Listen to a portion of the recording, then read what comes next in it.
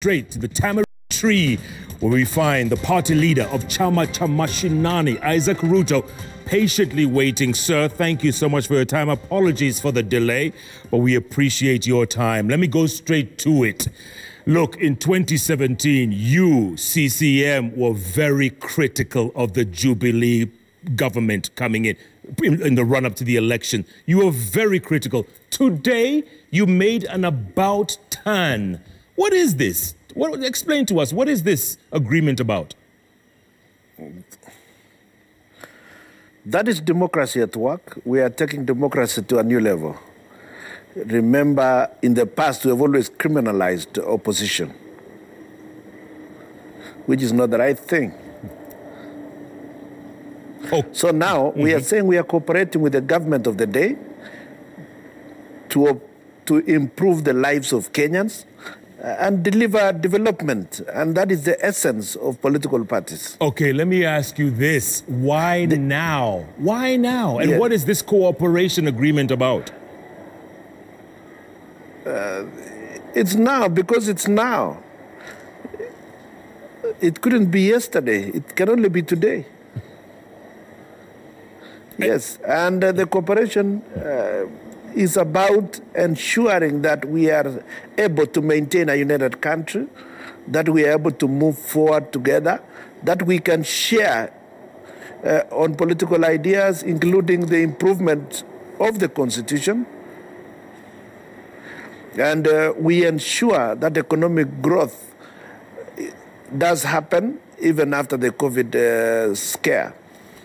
You know what? Uh, that is hardly convincing to most people who think that this cooperation is because there's a looming cabinet reshuffle and you could be in it. I think that those are just stories. We only see them in newspapers. You can't, uh, you can't start uh, writing what the president could be thinking about. That is his province. Ours is to deal with the issues of the day and ensure there is a peaceful country for everyone. Okay, a few weeks ago, you were spotted getting off a helicopter heading to a high level meeting.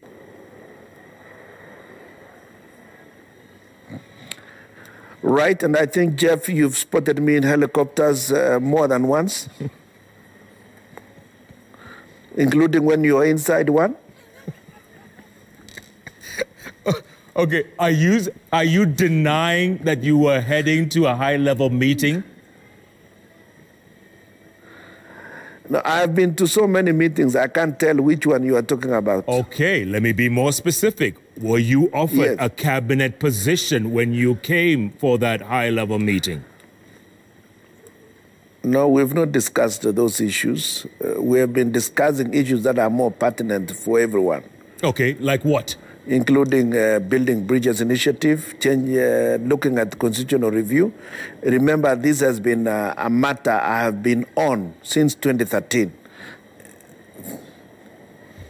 The building, you, do, you mentioned building bridges initiative. The task, task force ends its tenure at the end of this month. Is that why we're seeing a realigning of parties so that everything can be passed smoothly through Parliament? Not necessarily. You know, the path towards constitutional changes is clearly defined in the Constitution, and the path is very clear. Those matters uh, that require a referendum will go to the referendum, with or without uh, a huge majority in Parliament you, you can't change uh, Article, I think, 254, which defines when you are dealing with specific areas, including parliament, including the executive, including devolution, some of those things just have to go through a referendum. The people must approve. Okay, let me come back to the cabinet. If you were offered a cabinet position, would you take it? Uh, Jeff, I think that is neither here nor there. Remember, cabinet placements and all that is the prerogative of the president. Okay, it was rumored when you came for your meeting and were offered that cabinet position, you said no, because there's only two years to the next election. Are you denying you said that? Uh, it was rumored, and I think you've answered the question. Rumors are very plentiful in Nairobi. okay. Especially in the newspapers and the corridors of journalism. and I don't want to, to, to go too close to where you are, where you are, Jeff. okay, let me ask you this.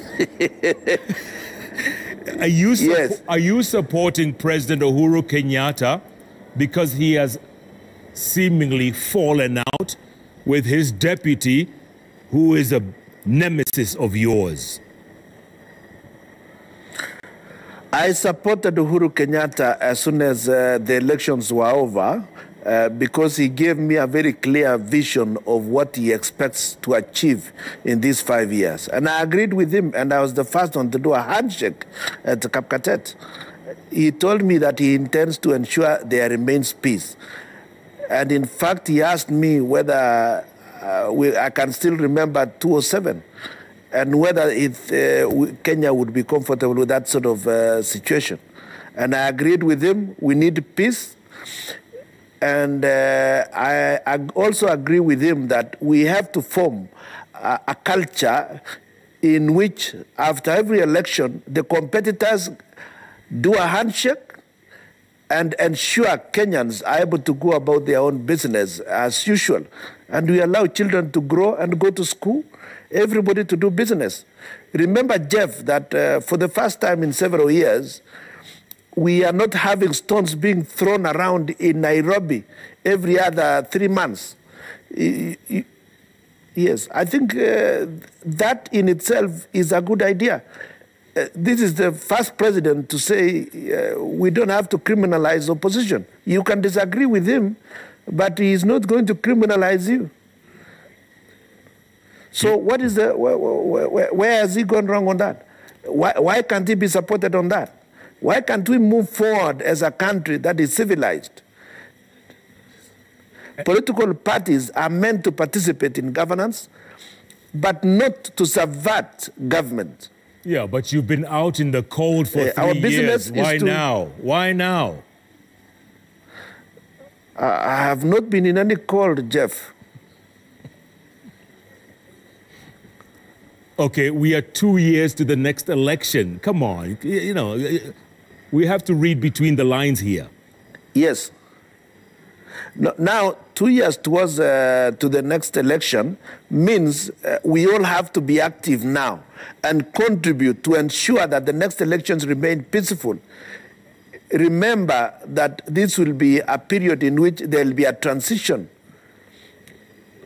Remember, the president serves for 10 years according to the current constitution. Mm-hmm. And uh, Uhuru Kenyatta is uh, going to hand over to the next uh, government. And we expect Kenya to continue peacefully. We expect after the election, the next day, uh, Jeff, you will be in the studios and you will be on your element. Speaking of element, uh, so Wiper yourself, CCM, KANU have all signed agreements with Jubilee. ODM is working with Jubilee under BBI. And we all sliding yes. very comfortably into one, a one party state. Eyes wide open. Never. We are not moving towards that. When you are talking about cooperation, it is a political party and another political party discussing issues and we have agreed on uh, various programs that needs to be pursued in the next two years. We have also agreed that this country must remain peaceful and a member of the Committee of Nations that is civilized. Um, but we have never discussed the possibility of dissolving any parties. Remember, I have been a very serious critic of a possibility of anyone being cajoled into dissolving uh, political parties. Because we must develop political parties that have ideologies, that have clear programs, and they are uh, understood. And we must remove tribal tagging. Okay, let me ask you this. I mean, these agreements, are they for personal gain? Are they for public good? Because how is it going to help Ch- Chama cha Mashinani? How is it going to help you all? Yeah, it is for public good. For example, Chama cha Mashinani now gets a, a platform to continue pushing the policies that they have always felt ought to be adopted. For example, we stand for a stronger devolved system, stable county governments, and um, guaranteed methodologies of ensuring the public participate in governance and that no area remains uh, marginalized like has happened in the past.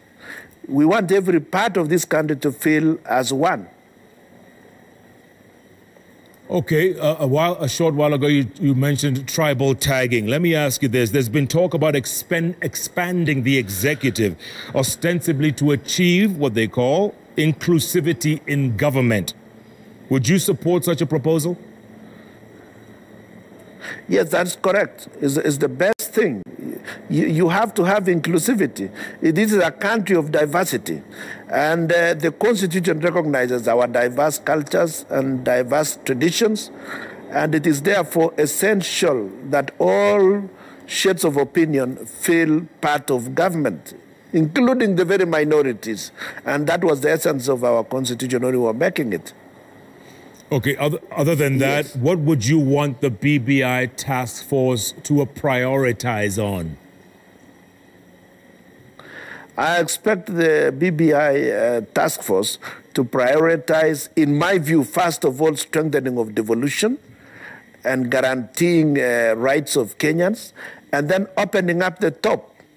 I would uh, personally support uh, a hybrid uh, system between a hybrid between parliamentary system of government and the presidential. Because Kenyans continue, uh, they still insist on uh, electing their president. At the same time, we expect members of parliament to play a bigger role. And the members of the county assembly should play a bigger role uh, in the management of affairs in their own counties. So that we don't have this instability that seems to be um, the order of the day in the various counties. Mm. I'm going to come to the counties in a little short while, but uh, uh, just to confirm, you, you, would support a ceremonial president, a powerful prime minister, deputy president, two deputy prime ministers, that lineup? Not exactly a, a ceremonial president. A president that has, still has a role to play in the management of the affairs of the country. For example, if you were to ask me, in one of my proposals, I made it, uh, we made it under as Chama cha Mashinani that uh, we expect the president to continue being commander-in-chief of the armed forces, in charge of internal security, in charge of foreign affairs. I would also propose that he continues to handle ministries that are less political, like environment, lands, uh, and such like. But uh, the ministries uh, which in Kiswahili you would say utendaji wa kazi ni kazi ya prime minister. He must answer daily in parliament to the progress or the failings of his government and therefore continued uh, consultation and uh, accountability to the people's representatives. Okay, I'm sure you've already looked towards 2022. Are you going to run for president? Uh, we have all agreed that for now, let us stop the politicking. Let us address the issues that are important right now. The important thing that is uh, that, that needs to be addressed at the moment is the fact that we are under in the middle of a pandemic. At the same time, our economy is facing serious challenges. Uh, the, a lot of uh, workers are losing their jobs or having half salary. The economy is not growing, yet the demands continue to remain the same. Yeah. I just want to I don't think there is uh, any urgency in talking about who, uh, the elections of 2022. Okay, that doesn't answer my question at all. I just wanted a yes or no. Will you run for president or even governor? Yes or no? Uh, there is no yes or no answer in politics except when you are voting. Okay. Jeff, you, you join our trade and then you will, you will understand. no, I think I'll if you want yes or no, I suggest you you meet with Sossion and uh, the TSC commissioner. I think I'll stay exactly He'll where give you a job where the answers are yes and no. okay. All right. I'm going to take a break, but when I come back, I want to ask you about the Talai elders who recently endorsed William Ruto as the presidential candidate for 2022. They've, they've literally, they've endorsed him. I want to ask your thoughts about that. And also, Governor Ann Waiguru in hot soup or not. You are governor. What will be your advice? Mm-hmm. Let's talk about that after the break. yes or no answer, he says. Keep tweeting at Koinange Jeff at Citizen TV Kenya. The hashtag is JK Live. We'll be back with Chama cha Mashinani leader, party leader, Isaac Ruto, in a moment.